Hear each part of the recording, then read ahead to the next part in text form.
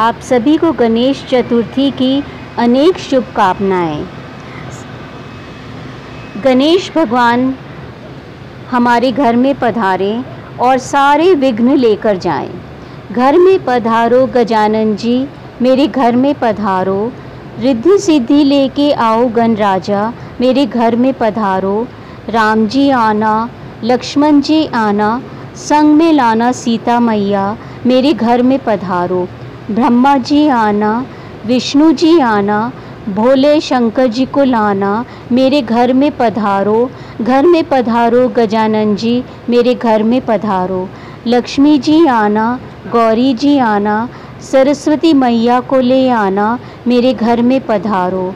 घर में पधारो गजानन जी मेरे घर में पधारो।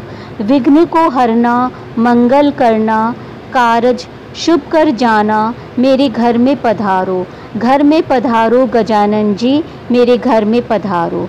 गणपति बप्पा मौर्या, मंगल मूर्ति मौर्या।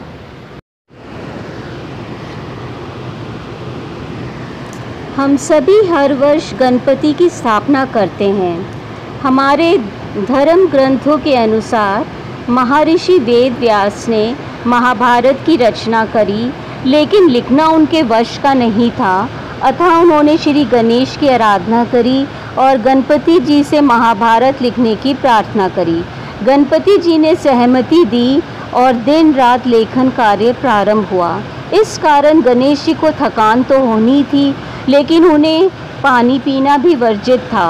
अतः गणपति जी के शरीर का तापमान बढ़े नहीं, इसलिए वेद व्यास ने उनके शरीर पर मिट्टी का लेप किया और भाद्रपद शुक्ल चतुर्थी को गणेश जी की पूजा की। मिट्टी का लेप सूखने पर गणेश जी के शरीर में अकरण आ गई। इसी कारण गणेश जी का एक नाम पार्थिव गणेश भी पड़ा। महाभारत का लेखन कार्य दस दिनों तक चला। अनंत चतुर्दशी को लेखन कार्य संपन्न हुआ।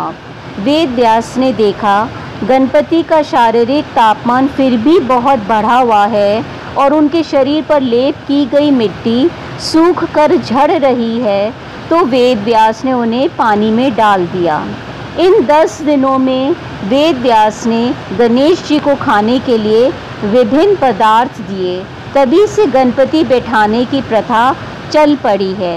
इन दस दिनों में इसीलिए गणेश जी को उनकी पसंद के विभिन्न भोजन अर्पित किए जाते हैं।